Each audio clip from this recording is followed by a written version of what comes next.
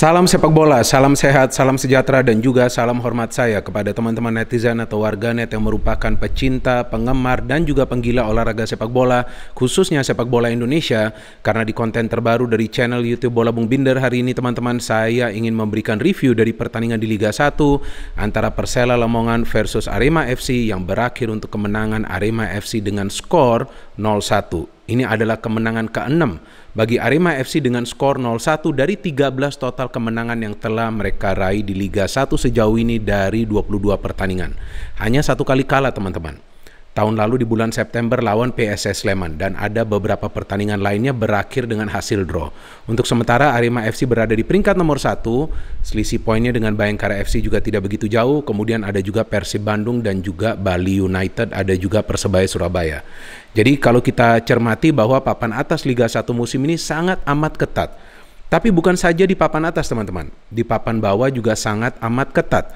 Contohnya Persela Lamongan, Persipura Jayapura, Persiraja Banda Aceh, Persik Kediri, ya mereka semua masih bersaing untuk bisa keluar dari zona degradasi. Masih ada juga Barito Putra. Jadi terlihat bahwa musim ini akan sulit untuk diprediksi tim mana yang akan menjadi juara dan juga tim mana saja yang akan degradasi ke Liga 2. Dan kita juga bisa melihat beberapa tren yang terjadi di Liga 1 musim ini. Salah satunya adalah gol yang sering dihasilkan menjelang pertandingan berakhir di masa injury time atau juga di 1-2 menit sebelum waktu normal itu berakhir. Kemudian ada juga tren di mana para pemain lebih sering mencetak gol dari situasi bola-bola mati. Jadi memang ini Liga 1 yang berbeda. Plus terlihat skema permainan dari tim itu bisa berubah-ubah dari setiap pertandingannya. Contohnya dari Arema FC. Ada pertandingan yang Arema akan bermain all out, total bermain terbuka untuk bisa cepat mencetak gol dan meraih kemenangan. Ada juga pertandingan yang Arema FC mengandalkan quick counter attack. Sedangkan Persela Lamongan adalah salah satu tim yang sebetulnya efektif bermain ball possession. Tapi kesulitan dari Persela Lamongan ini adalah untuk menyelesaikan peluang-peluang yang mereka peroleh. Sebetulnya secara permainan tim ini tidak mengecewakan teman-teman. Apalagi setelah sekarang dilatih oleh Jafri Sastra. Tapi finishing itu sangat penting ada contoh juga kan di pertandingan ini. Sebetulnya jika Al Jaberi bisa menyelesaikan peluang yang dia dapat di menit ke-30, ya mungkin jalan ceritanya dari pertandingan ini berbeda.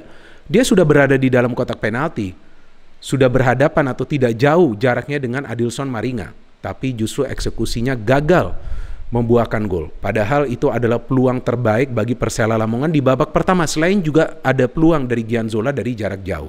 So it was a good match. Bagi saya pertandingannya berjalan seru karena kedua tim bermain dengan tempo tinggi.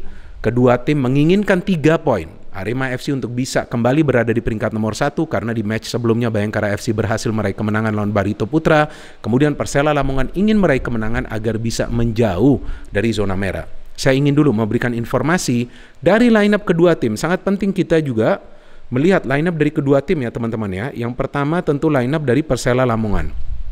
Dwi Kuswanto sebagai penjaga gawang, penjaga gawang yang senior dan menurut saya penampilannya sangat bagus di match ini. Kemudian ada Valentino Telaubun, pemain senior lain yang berada di posisi fullback. Ada Syarif Wijayanto, kemudian ada Ricky Akbar Ohorela, ada Demerson. Jadi Syarif dan Demerson sebagai center back. Valentino di sebelah kiri, Ricky di sebelah kanan, Gianzola di tengah, Guilherme Batata, Riyadno Abiyoso dan Muhammad Nur Iskandar. Di depannya ada Malik Risaldi dan juga Selwan Aljaberi. Ya, Nur Iskandar juga sering maju ya. E, sepertinya Nur Iskandar ini bermain di sektor wing. Kemudian dari Arema FC, Carlos Fortes sebagai ujung tombak top scorer dari Arema FC dengan total 11 gol, mencetak gol di pertandingan sebelumnya lawan Persipura Jayapura Kushedia Yudo, Rian Kurnia, salah satu pemain baru yang gabung di putaran kedua, sebelumnya bermain untuk Sulut United.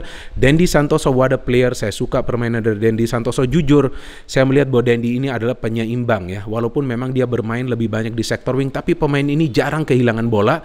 Sandi Dharma Sute, salah satu pemain yang menurut saya merupakan perekrutan terbaik untuk Arema FC meskipun dia masuk di putaran kedua karena dia memberikan tambahan tenaga di lini tengah. Apalagi di match ini, Renshi tidak bisa bermain karena terkena akumulasi kartu kuning. Ada Jayus Haryono jadi artinya Arema FC bermain dengan dua breaker di lini tengah. Di belakang ini memang adalah format uh, pemain inti ya di belakang untuk Arema FC, John Alvarizzi, Bagas Adi Nugroho, Sergio Silva dan juga Rizky Dwi Febrianto. Di penjaga gawang of course Adilson Maringa. Adilson Maringa salah satu penjaga gawang dengan performa terbaik di Liga 1 musim ini teman-teman. Sebelum pertandingan lawan Persela Lamongan, Adilson telah mencatat total 10 clean sheet dari 19 penampilannya. Sayang di pertandingan ini dia tidak bisa bermain full. Namun penjaga gawang yang masuk menggantikan Adilson Maringa, Teguh Amiruddin juga bermain baik. Dan Teguh juga sebelum pertandingan ini telah dua kali mencatat clean sheet dari dua penampilannya. Jadi memang terlihat bahwa Arema FC punya skuad dengan materi pemain yang merata. Dari jalannya pertandingan memang tampak jelas para pemain dari kedua tim ingin mencetak gol cepat. Maka itu walaupun para pemain Arema FC keluar menyerang, itu juga diladeni oleh para pemain Persela Lamongan. Cuma bedanya bahwa para pemain Arema FC lebih sering menyerang dari kedua sektor sayap sedangkan Persela Lamongan lebih sering menyerang di tengah karena ada pemain seperti Guilherme Batata dan juga Gianzola. Ini dua ini kan sebetulnya adalah kreator serangan. Perbedaannya bahwa dua pemain ini bermain sedikit ke dalam. Karena sepertinya taktik dari Coach Jafri Sastra itu bermain compact. Bermain compact itu artinya apa? Menaruh sebanyak mungkin pemain di tengah dan melakukan counter secara cepat. Dari Arema FC total all out. Mereka ingin mencetak gol secara cepat. Dan terlihat berkali-kali para pemain Arema FC itu melakukan pergerakan dari sektor kanan pertahanan dari Persela Lamongan yang ditempati oleh Ricky Akbar Ohorela. Jika saya tidak salah Ricky juga pernah bermain untuk Arema FC ya, jika saya tidak salah tuh saya sudah lupa tapi sudah lama dia bermain um, untuk Arema artinya memang Ricky ini jatuh bangun di menit-menit awal dan yang selalu melakukan serangan itu salah satunya adalah John Alvarizzi bahkan dia terlihat bermain sebagai wingback. Memang kita melihat bahwa dari alur serangan para pemain Arema FC lebih cepat melakukan pergerakan ke pertahanan dari Persela Lamongan tapi sulit juga untuk bisa menciptakan peluang on target. Karena para pemain Persela di lini pertahanan ini juga cukup tangguh teman-teman. Syarif, kemudian Demerson, Ketika pemain di lini tengah itu kesulitan untuk mengatasi pergerakan dari para pemain Arema FC, baru salah satu center back ini akan cepat naik untuk menutup ruang gerak dari pemain Arema FC tersebut. Maka itu kita melihat bahwa pemain dari Arema FC seperti Sandi Sute dan juga um, siapa saat lagi Jayus Haryono lebih banyak berada di tengah untuk juga duel dengan para pemain Persela Lamongan. Maka itu cukup banyak pelanggaran yang terjadi terutama di lini tengah dari permainan. Dan memang terlihat bahwa Arema FC lebih banyak mengancam. Peluang dari Carlos Fortes ya dua kali. Sebetulnya yang satu sih cukup lemah, yang kedua dari tepi kotak penalti, ada juga umpan dari Skidwi dari um, apa itu tendangan bebas yang sayang tidak bisa diterima oleh John Alvarizzi. Tapi sebetulnya ya peluang terbaik itu didapat oleh Persela Lamongan dari Selwan Aljaberi kan ketika ada kerjasama dengan Nur Iskandar sayang sekali dia tidak bisa konversikan peluang itu menjadi gol.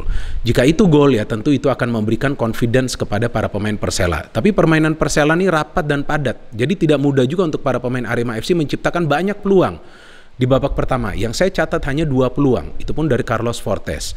Dari Persela itu dia selain dari Aljaberi ada juga peluang dari Gianzola dari jarak jauh. Memasuki babak kedua Nah, saya hanya menunggu nih, apakah kedua tim ini bisa bermain tetap dengan tempo tinggi? Karena permainannya ya, itu kan tempo tinggi di babak pertama, pasti menguras tenaga para pemain. Ternyata masih bermain dengan tempo tinggi, teman-teman. Nah, satu ya yang saya mencatat nih pergantian pemain yang dilakukan oleh coach Almeida ini cukup bagus. Dia menarik keluar Rian Kurnia karena Rian itu tidak berkembang di sektor wing sebelah kiri bagi Arema FC. Maka itu John Alvarizzi mau nggak mau harus ikut mendukung serangan hingga ke depan.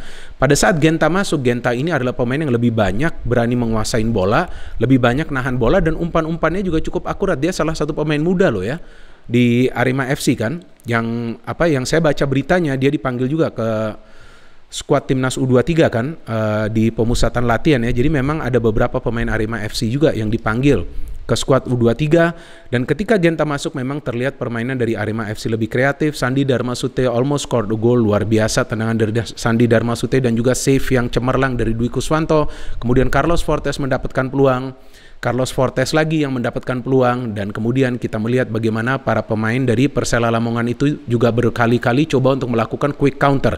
Beberapa kali para pemain Persela itu bisa melakukan counter tapi sulit untuk menerobos lini pertahanan dari Arema FC. Nah, artinya memang lini pertahanan dari Arema FC ini cukup tangguh dan itu juga bisa dibuktikan dari rekor defensif. Sejauh ini Arema FC baru kemasukan 13 gol.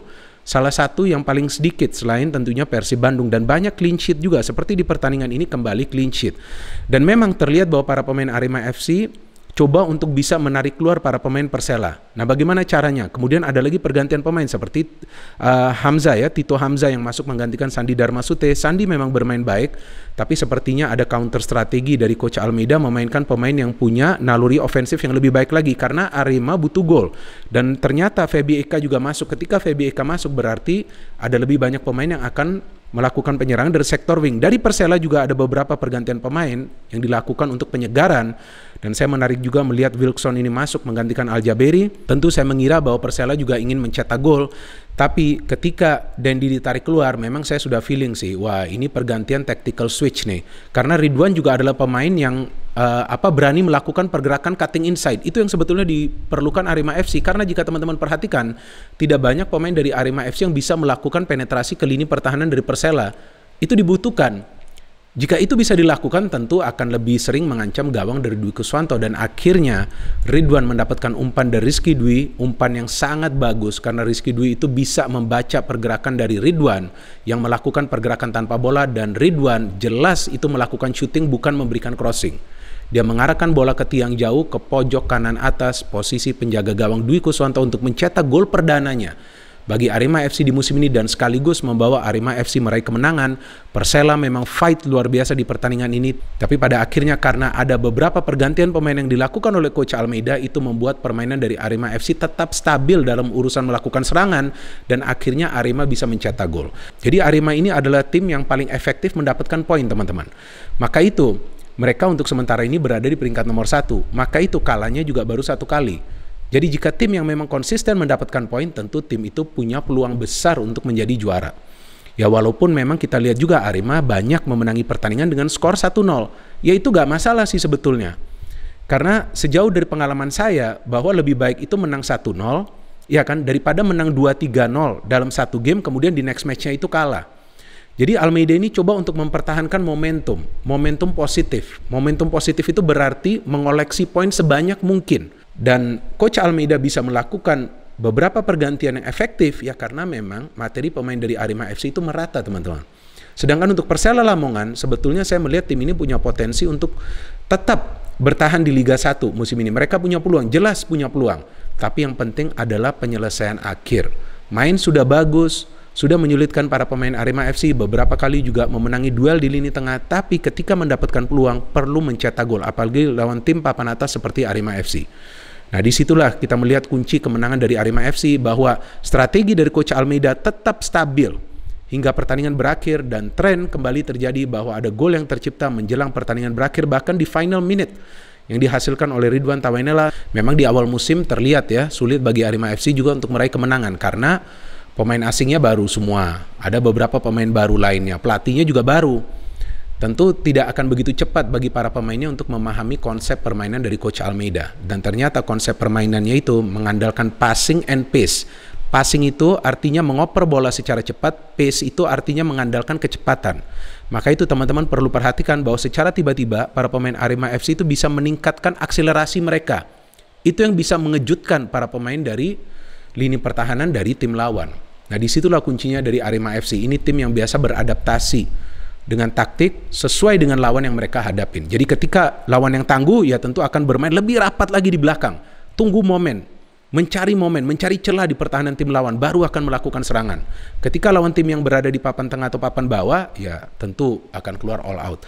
So far so good for Arema FC dan Liga 1 semakin ketat persaingannya di papan atas. Saya sendiri belum bisa memprediksi kira-kira tim mana yang punya peluang besar untuk menjadi juara karena masih ada Persib Bandung, masih ada Bayangkara FC yang bisa menang di masa injury time kan melalui gol dari Herman Zumafo, kemudian masih ada Persib Bandung, masih ada Persebaya Surabaya bahkan menurut saya Bali United pun masih punya peluang untuk menjadi juara.